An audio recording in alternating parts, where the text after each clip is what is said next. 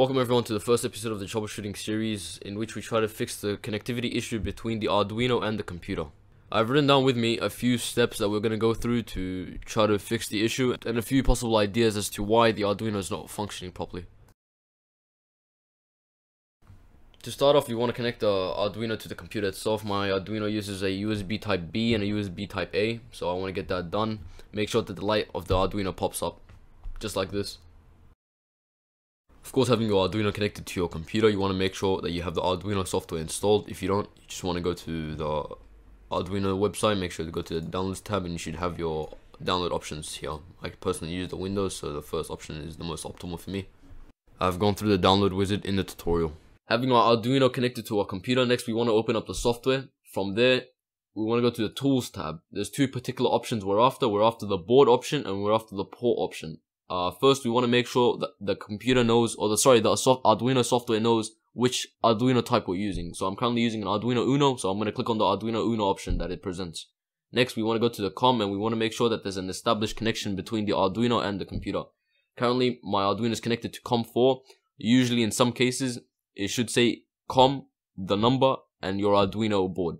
So, let's say, for instance, it should say COM4 Arduino Uno or Arduino for some reason mine doesn't show, uh, but I can I can guarantee that my Arduino is connected to COM4 by unplugging it, going going back to the tools tab, and the port option disappears.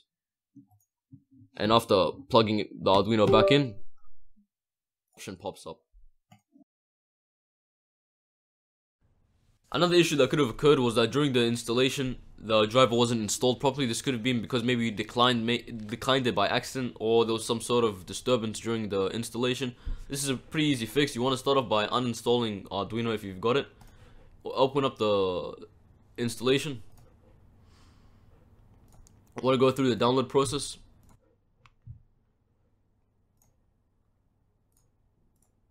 Now I've, I've downloaded the driver and so I won't receive the installation panel. I'll show it up right now. This is what it's meant to look like. You're meant to get this somewhere during the installation.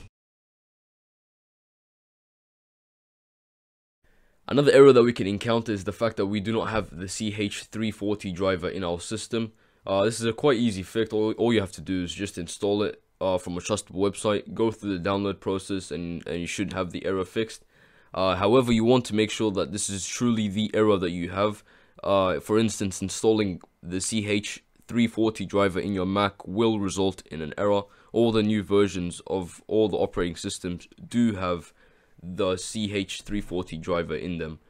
Next, you just want to click, I'm using a Windows, and I'm just going to uh, click on the Windows EXE. This one's the most suitable for me. Go through the download process. I already have this installed, so I hope this is not going to provide any problem. Uh, CH340. Uh, I believe this is the one, and then you just go install. Driver installation failure. This is due to the fact that I already have it. Uh, it already says uh, CH340. So uh, if you don't have it, this should um go through the download process clean without providing any any errors, just like how I encountered. Now, one of the possible errors that can arise just from your components could be either the cable or the or the or the microcontroller itself, the Arduino. And right over here that I have is a battery. Uh, this should come with along with the kit that you purchase. Uh, one way to check whether the problem is with the Arduino is just to connect it. Obviously, mine lights up, meaning that it's correct. However, if your problem is is is is with the cable, then uh, and when you connect it and there's no light, then I, I believe you need to get a new cable. I also provide a link for an individual Arduino just in case. Uh, the battery will come with the kit and a cable down in the description.